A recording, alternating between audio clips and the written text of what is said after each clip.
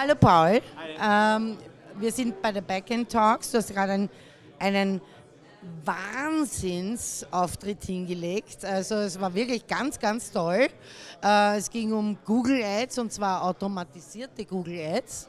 Ähm, äh, mir ist der Mund offen geblieben, weil ähm, ich habe zwar den Kurs jetzt gemacht, aber das wusste ich auch nicht. Äh, meine persönliche Frage ist einmal, du bist jetzt 30. Genau, ja. Wie bist du überhaupt dazu gekommen?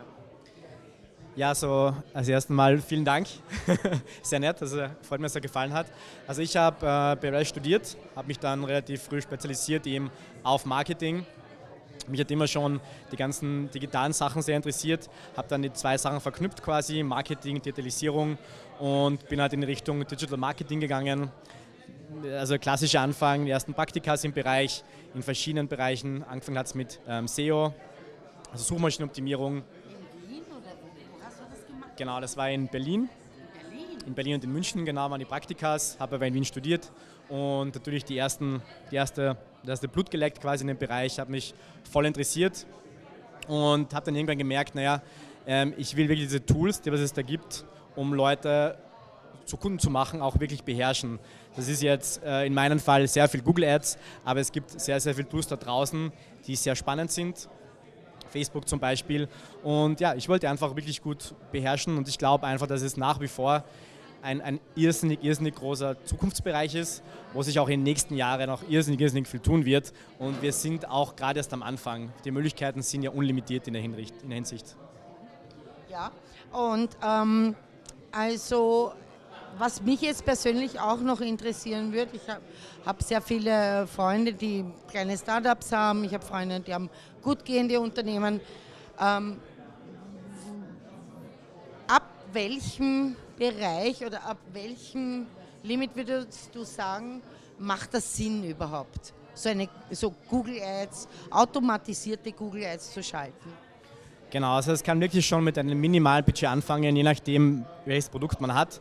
Wir haben jetzt äh, vor ein paar Tagen wieder ein Angebot gemacht für ein Startup. Die haben wirklich nur ein einziges Produkt und wollen das auf Google Shopping präsentieren, auf Google Shopping verkaufen. Die haben ein Budget von 300 Euro, haben halt nur ein Produkt. Das geht genauso. Wir schlagen immer vor, äh, Media Spend oder Klickbudget sollten so 600 Euro sein, damit man anfangen kann. Das geht auch. Da kann man wirklich auch Google-Suche machen und auch Banner schalten, also Display-Netzwerk. Idealerweise hat man 1000 Euro, aber wie gesagt, mit 600 Euro kann man schon richtig gut arbeiten. Im Idealfall hat man natürlich auch wen, der man vor allem am Anfang unterstützt beim Setup. Und dann ab einer gewissen Zeit kann man das auch wahrscheinlich alleine machen, wenn der Account mal aufgesetzt ist und der funktioniert. Weil, wie du gesagt hast, mit Automatisierung funktionieren die Prozesse wie, welche Keywords werden verwendet, wie hoch äh, bietet man für das Keyword schon automatisiert. Und dann kann man auch schon relativ viel selber machen. Ja. Und das kann man auch relativ schnell lernen, glaube ich. Das heißt also, auch für eine kleine Firma würde es Sinn machen, an euch heranzutreten und zu sagen, du, ich habe ein Produkt, ähm, ich würde das gern verkaufen, ich weiß nicht wie. Und das wäre aber auch noch eigentlich, so wie ich das verstanden habe, leistbar, richtig? Ja. Ja, auf alle Fälle. Vor allem, wenn du Produkte verkaufst, ist Google sehr stark, weil die Google-Suche ist ja intention-based, das heißt, man tippt ja ein, was man wirklich auch will, was man finden will. Und wenn das ein Kauf ist, tippt man wahrscheinlich auch Kaufen ein in die Suche. Das heißt, wenn man da eine Shopping-Anzeige schaltet für anzukaufen, ist natürlich ein sehr, sehr guter Weg.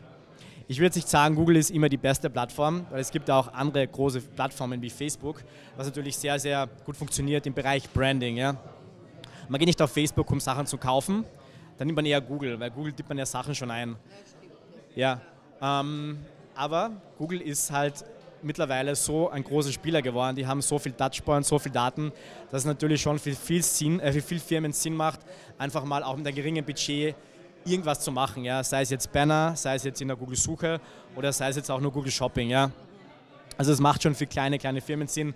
Wie gesagt, man kann schon wirklich um 300 Euro im Monat Banner-Anzeigen schalten und mal zumindest äh, die Brand-Awareness pushen, dass einfach Leute in Wien wissen, dass es mich gibt. Ja. Als kleiner Store geht das, das geht als Firma, die ein physisches Produkt verkauft und es geht genauso für Firmen, die äh, Online-Produkte verkaufen und halt Leute in Wien targeten wollen. Ja. Man kann das targeten in Wien bis auf den Bezirk herunter. Ja.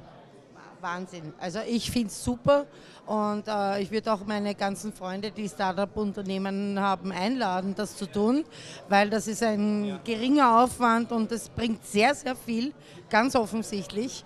Ähm, ja, aber die nächste Frage ist für mich, wie glaubst du, entwickelt sich das alles in der Zukunft? Wie, wie geht das weiter? Wo, wo, wo, wo gehen wir hin? Ja, das ist eine super Frage, da habe ich mich auch schon viel beschäftigt damit. Und also die, erste, die erste Antwort wäre mal, es wird immer spezialisierter. Das heißt, in der Zukunft wirst du wirklich Leute brauchen, die spezialisiert sind auf ein Tool. Das ist in dem Fall eine Person, die nur Google Ads macht, einfach weil das mittlerweile schon so, so, so umfangreich ist. Und man merkt das wirklich erst, wenn man selber täglich damit arbeitet, wie kompliziert das One ist mittlerweile. Ja? Der zweite Schritt natürlich sein, dass man immer mehr Algorithmen nimmt, AI nimmt, die ihnen helfen, einfach gewisse Sachen zu erledigen. Ja. Wie wir äh, im Vortrag gesehen haben, Smart Display zum Beispiel, man einfach die Bauer nimmt, die Google schon hat und das auslegt auf Displayprodukte zum Beispiel. Und ähm, es wird auch dann so sein, dass der User dann wirklich da abgeholt wird, wo er gerade ist. Und ich rede jetzt nicht nur von Werbung auf Homepages, sondern digitale Werbung jetzt zum Beispiel auf riesengroßen Billboards, die draußen sind. Das heißt, wenn ein User gerade auf der Marilferstraße vorbeifährt, weiß man anhand von seinen Daten, von seinen User-Daten, der hat ein Android-Gerät, der fährt gerade da vorbei und sieht dann eine Werbung, die zu ihm passt. Ja. Das heißt, in der Minute wird gerade die Werbung geschalten, was zu dem User passt. Ja. Das gibt es in der Form schon, vor allem im Display-Bereich. Das nennt sich Programmatic Advertising. Das ist wirklich sehr, sehr, sehr zielgruppengenaue, also nicht nur Zielgruppen, sondern personagenaue Werbung, wo der komplette Banner angepasst wird auf dich als Person. Das heißt, den Banner siehst du anders, weil du ein komplett anderes Konsumverhalten hast wie ich. Und das wird genau so angepasst, dass es im richtigen Moment zur richtigen Zeit ausgespielt wird. Wurscht wo. Das kann jetzt auf einem Billboard sein, auf einem Taxi, das vorbeifährt oder auch auf deinem Smartphone, zukünftig auch Smart TV. Ja. Wir leben in einer Zeit, wo alle vernetzt ist. Es ist, ja, ja, ja.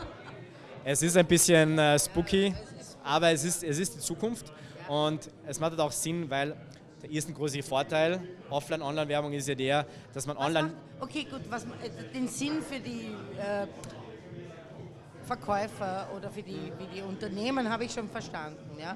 Macht das, was macht das für einen Sinn für die Käufer? Dass sie jetzt äh, ganz gezielte Werbungen bekommen oder? Ja, ja. Also natürlich, das ist immer die Frage wiederum, ja. Das ist die Frage, ne? Das ist die Frage, weil natürlich bringt es dir als User schon was, wenn du wirklich äh, Werbung ausgespielt bekommst, die zu dir passt.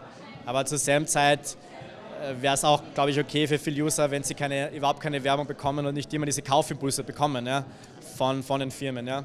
Und äh, mittlerweile sind ja, also Daten sind das neue Gold, das kann man wirklich so sagen. Daten kosten, kosten was, die kann man kaufen, desto besser das sind, desto teuer sind die. Und Big Data ist mittlerweile schon da.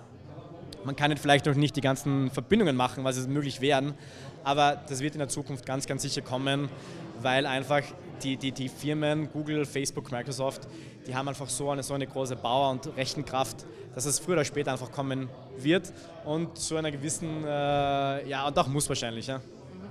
Vielen Dank, weil äh, das ist auch gut zu wissen, ja, damit ähm, auch die User damit umgehen können. Ja, ja. Äh, ich denke mal, mal, wenn man es weiß, ist es okay. Ähm, man kann ja dann immer kaufen, was man will. Das ist ja die eigene Entscheidung. Das, aber, das ist ein sehr guter Punkt. Ja, aber, die, die, die, Endentscheidung ist immer beim Konsumenten. Ist immer beim ja, Konsumenten, aber man muss sich schon bewusst sein, was im Hintergrund abgeht und das ist auch okay so.